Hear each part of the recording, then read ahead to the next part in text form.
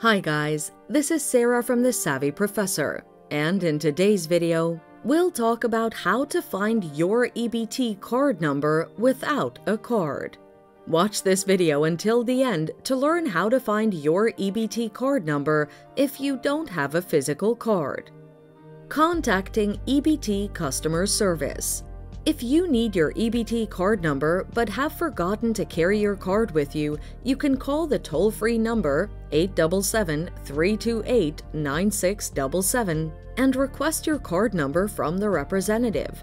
The representative will take you through a process that involves providing your personal information, like your full name and social security number, to ensure the security of your account.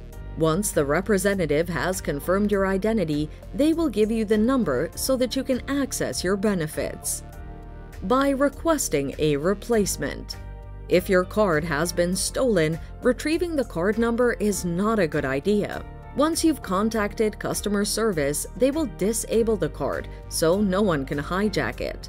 You can then request a new card through the EBT portal at cardholder.ebtedge.com, which will be delivered to you after a few business days. So you will have a physical card and a new card number. Visiting your local EBT office.